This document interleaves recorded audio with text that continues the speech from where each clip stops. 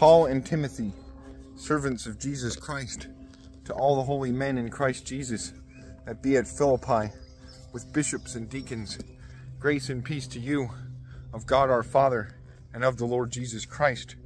I do thankings to my God in all mind of you, evermore in all my prayers, for all with you joy, and make beseeching on your communion in the gospel of Christ from the first day till now, trusting this same thing, that he that began in you a good work shall perform it till unto the day of Jesus Christ.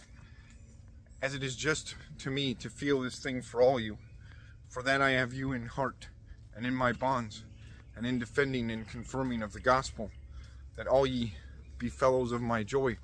For God is a witness to me, how I covet all you in the bowels of Jesus Christ. And this thing I pray, that your charity be plenteous more and more in knowing and in all wit, that ye approve the better things, that ye be clean and without offense in the day of Christ, filled with the fruit of rightwiseness by Jesus Christ, into the glory and praising of God.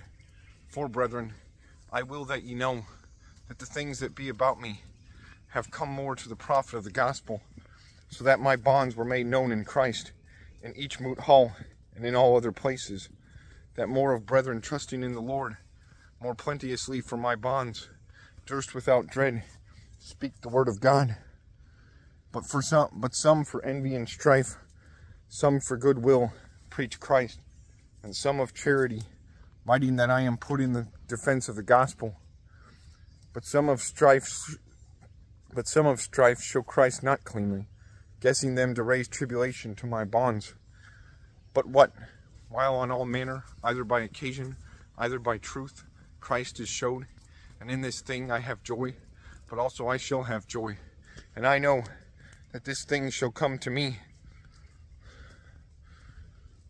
But I know that this thing shall come into to me into health by your prayer and the underministering of the Spirit of Jesus Christ, by mine abiding in hope. For nothing I shall be ashamed, but in all trust as evermore and now, Christ shall be magnified in my body, either by life, either by death. For me to live is Christ, and to die is winning. That if to live in Christ flesh is fruit of work to me, lo, what I shall choose I know not. But I am constrained of two things. I have desire to be departed, and to be with Christ.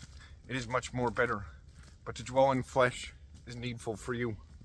And I, trusting this thing, know that I shall dwell and perfectly dwell to all you, to your profit and joy of faith, that your thanking abound in Christ Jesus in me, by my coming again to you. Only live ye worthily to the gospel of Christ, that whether when I come and see you, either absent I hear of you, that ye stand in one spirit of one will, travailing together to the faith of the gospel. And in nothing be ye afeared of adversaries, which is to them cause of perdition, but to you a cause of health. And this thing is of God. For it is given to you for Christ, that not only ye believe in him, but also that ye suffer for him, having the same strife which ye saw in me, and now ye have heard of me.